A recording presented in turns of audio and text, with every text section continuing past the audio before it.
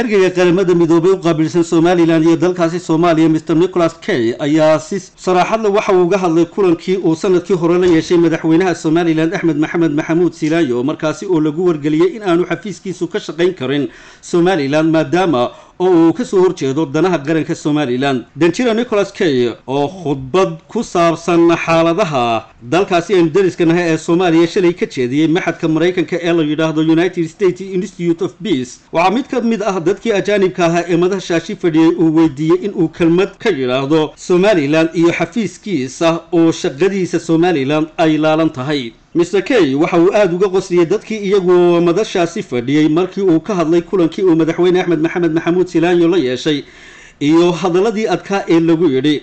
Waxaana uu yidhi mar keliya ayaan tegay somalilan waxayna ahayd waqti yare kadib markii aan hawshayda bilaabay.